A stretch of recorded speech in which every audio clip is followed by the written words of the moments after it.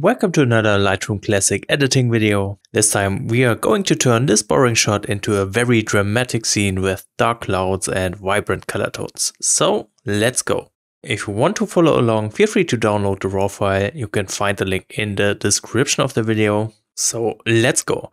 Right away you can see this shot is very very boring. We don't have much visible structure in the clouds. The foreground is also a little boring as well with those not very saturated colors. And I want to fix all of those things. But first off, what's really driving me crazy here is the skewed horizon, which is due to the wide angle lens I used here. So let's fix that in the lens correction tab right here. And while we're at it, I'm also going to click remove chromatic aberration, like I always do with my images. Then to fix that distortion, I'm going into the manual panel and here you have the distortion slider. So once I push this one, you can see we can fix the horizon and make it look much more straight. So I'm going to push it quite a bit until I'm getting a good looking result here. Normally I would get some gaps towards the edges, but I already have cropped the image as you can see, so we don't have any problems here. And you can also see I'm keeping this tree right in the center, so all that is looking pretty good for now. Then let's work on the look some more. I've been struggling with this image for quite a while, it's been laying on my hard drive for over a year now, but I think I finally found a good style for this shot. So I do want to make it a lot darker, therefore I'm going to drop the exposure first. Just a little bit. Alright, and right away I'm going to drop the highlights all the way. This helps revealing some more detail in the sky. Still not enough, but we will fix that later. For now, let's increase the blacks, just to prevent some heavy underexposure. Just like that. Now the histogram looks pretty good. I do want to make this image look a bit sharper, so I'm going to add some texture and let's add some clarity as well. Okay. And as I said in the intro, I want this to be very saturated, so I'm going to push the vibrance. Just like that. Perfect. Now, let's make this image more dramatic, and therefore I'm using a lot of local adjustments. As you can see in the masks panel, there are already a few masks applied, and I want to start with the foreground.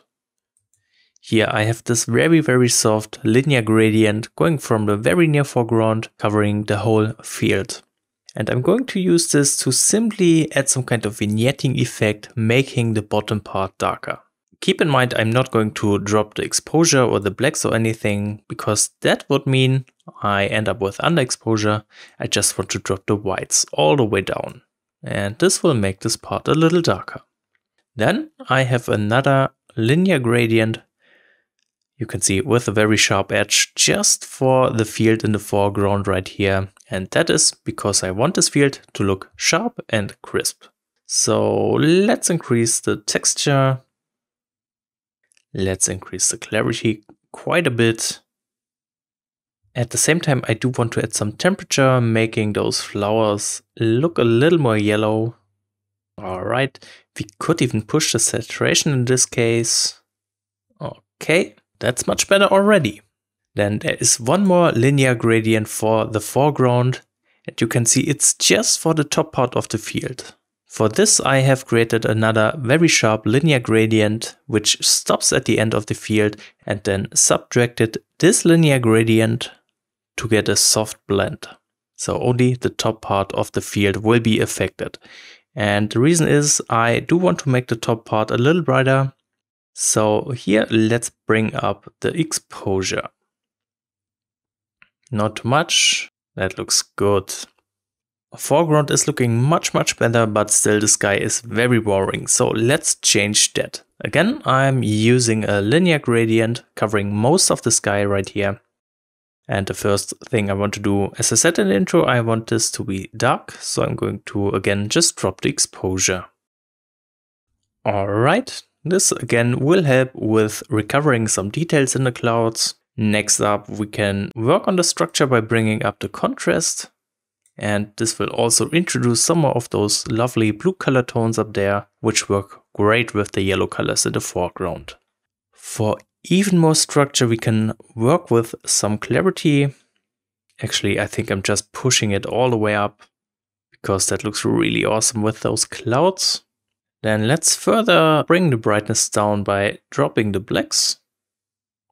All right. And I think I'm also going to drop the texture just to prevent some heavy noise in there. We don't really need texture in this area anyway, so that's looking pretty good. Okay, and finally we could, for some more contrast, even use some dehaze. Just be careful with this slider since it's very, very powerful. Alright, that starts to look really awesome. Now I have another linear gradient for the very top part of the sky. Again, that's just to bring down the exposure some more. Perfect. And then there is this radial filter left just for the center part. And that's because I want this area to be a little brighter than the rest of the image. So I'm going to increase the exposure. And I'm also increasing the whites.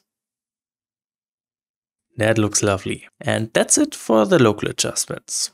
Now we're almost done with the editing. There's just a bit more color grading going on. I'm heading straight into the HSL panel in the saturation tab. I just want to get rid of the greens in the foreground, so let's drop that all the way down.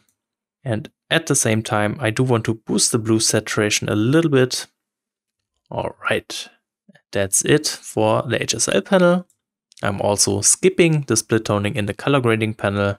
Instead, I want to go head all the way down into the calibration tab and just bring down the blue primary hue and here I'm also increasing the saturation. Perfect. Now that's a really cool image. We could sharpen it a little bit. So let's head into the details tab. And I'm always applying the same sharpening, radius all the way down, detail all the way up, and just playing around with the amount. And then of course applying some masking right here. Perfect. And that is pretty much it for the editing in Lightroom. Now I do need to clean up the shot a little bit, so for that reason I'm going to use Photoshop. So let's switch over. Alright, here we are in Photoshop. I'm going to use the spot healing brush and just clean up a few sensor spots. And I also want to remove those signs with the spot healing brush. Perfect. Now there is a little gap right here in the foreground, which is a little annoying. Therefore I'm using the clone stamp tool and I just copy an area by holding down Alt key and clicking in here. Then I'm dragging this part over and just fill this gap. Just like that. Now let's see, I do want to take a look at the histogram. You can see we are missing some highlights. So I guess I want to fix that. Therefore, let's apply an adjustment layer. Here, let's choose levels. Again, here you can see the histogram. On the right side, we have the point for the highlights. Now I'm just dragging it down until it touches the histogram so we don't overexpose anything. And thus we have added some more contrast and brightness to this image, which looks really, really good now. So at this point, let's merge those two layers. And I'm not sure if I do want to apply some further editing, but I do want to check the Nik collection just to be safe. So you can see I'm using the Pro Contrast filter right away, and I think it looks really good, especially for the sky. Let's make it a little more dramatic here. Uh, maybe that's a bit too much. Let's bring it down. That is looking pretty good, but I do want to add a negative control point for the foreground because I don't think we need that contrast in here.